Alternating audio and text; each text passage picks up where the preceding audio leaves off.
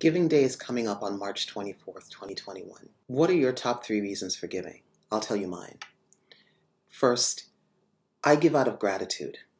Like so many of us, my education and so many of the opportunities that have been afforded me across my life are the result of the quiet generosity of people who did not know me. So I give because I'm deeply grateful that I was given to. Number two, I give because I know that there's no such thing as a gift that is too small. And I also know that what we can do when we build collectively, when we give collectively, is so much bigger and so much more impactful than what any of us can do alone. And number three, I give because it is my way of showing up for who I love and what I love.